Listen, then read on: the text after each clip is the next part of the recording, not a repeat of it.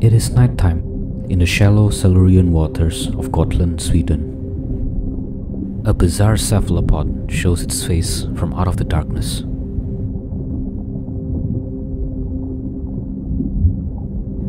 This is Octameroceras, an oncocerid, a group of nautiloid cephalopods.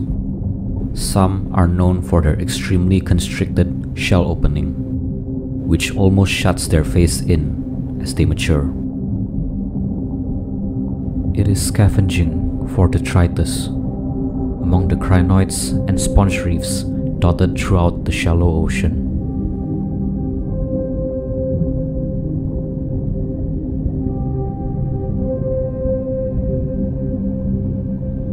It is not alone, however. Orthocones prowl the same reefs, some towering up to 5 meters tall.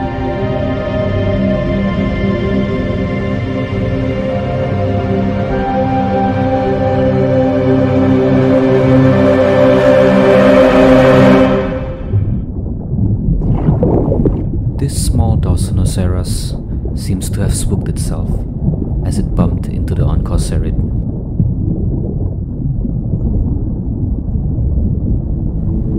False alarm.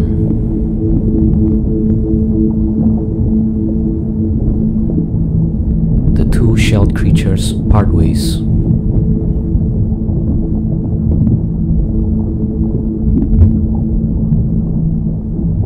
And Octameroceras continue its forage in the dark.